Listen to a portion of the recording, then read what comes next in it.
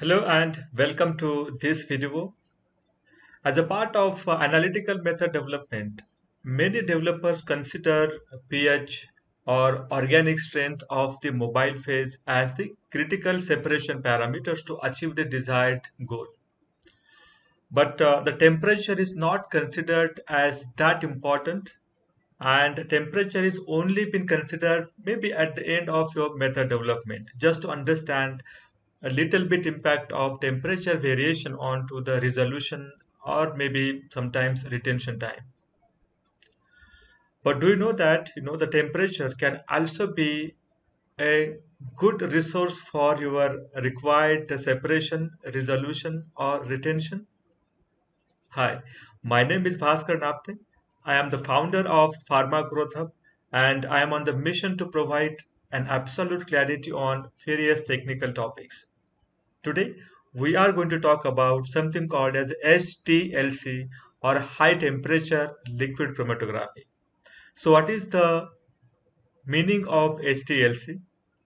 When the HTLC can be used and at the last we will also talk about some of the limitations of HTLC. So let us begin with the presentation. So what is high temperature liquid chromatography or HTLC? The high temperature liquid chromatography or HTLC in short form is a term which refers to any separation carried out at temperatures above room temperature typically within a range from 40 degrees Celsius to 200 degrees Celsius with a mobile phase in a liquid state. You must have used gas chromatography at such high temperature but very few times people utilize the temperature into the uh, HPLC method development. So in case if you are using the temperature above room temperature during the method development, then you can think of using an HTLC. So why this HTLC technique is important and why you must consider an HTLC for your next experimentation. The first and foremost, the HTLC will help you to reduce the column back pressure. See, we all know that the column back pressure is the limiting factor for HPLC analysis and that's the reason there is an UPLC or UHPLC. In case if you are uh, working with very high viscous uh, organic solvent like IPA or some to some extent methanol, higher temperature will help you to reduce the viscosity of those organic solvent. And then uh, you are going to get the lower column back pressure. So reduction in the column back pressure is very much possible with the higher temperature. And this increased uh, temperature which eventually going to help you to reduce the back pressure will help you to increase the the the flow rate of your mobile phase so that way you can have the shorter possible retention time. And as you're operating at the lower column back pressure your life of the column will also get increased. So let me show a diagram on one experiment conducted uh, i have taken from one of the uh, the scientific research article. And you can see that the pressure is been getting dropped from for example 4500 psi to closely around 2500 psi. So with the increase in the column temperature from 20 degrees Celsius to 60 degrees Celsius, you can see a significant drop in the column's back pressure. I hope this is going to be an advantageous fact for you in case if you are getting limitations because of the column back pressure. So this application of a temperature can also be a good point in case if you are working with the smaller column, uh, smaller particle size columns like 3 micron or 2.5 micron or 2 micron. So especially with this column uh, packagings, you will always end up getting the high column back pressure. So temperature can be a best aid in reducing the column back pressure. The second important uh, point why you must consider the high temperature liquid chromatography is the reduction in the retention time. The higher the temperature, the faster the exchange of the analytes between the mobile phase and the stationary phase. And because of that, you can expect the reduction in the retention time. Now again, these chromatograms can represent, show you how the change in the retention time takes place with the increase in the temperature from 25 to 30 to 40 and 50 degrees Celsius. But one has to be also cautious about the resolution aspect. As long as your resolution is not getting compromised, you can certainly think of increasing the temperature. The next important point is the reduction in the tailing or overall improvisation into the peak shape. A significant increase in efficiency with temperature due to kinetic effects and improvement in the mass transfer. And this will lead you to the decrease in that peak tailing or improvisation into the peak shape. In case if you have the secondary Silanol effect, now that secondary Silanol effect can certainly get minimized with the increase in the temperature.